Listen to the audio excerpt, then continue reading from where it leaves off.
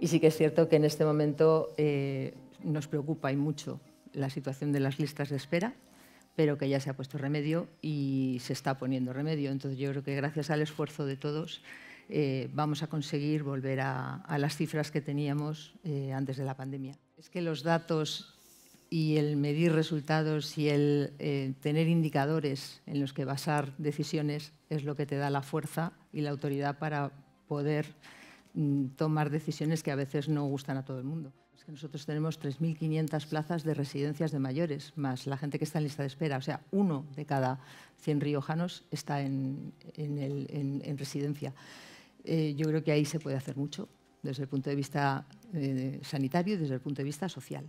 Si vamos todas de la mano y ahí La Rioja por su tamaño tiene gran experiencia, pues porque por muchas razones y son evidentes, la parte buena es que podemos ser un laboratorio la parte mala es que no tenemos masa crítica, pero la convertimos en buena colaborando con otros que nos necesitan para tener esa masa crítica. Y hay ejemplos eh, pues muy alucinantes y muy apasionantes y, que te permite ser optimista de estar trabajando con País Vasco y con Navarra, con gobiernos diferentes y estar, vamos, de la mano colaborando en proyectos mm, apasionantes e ilusionantes.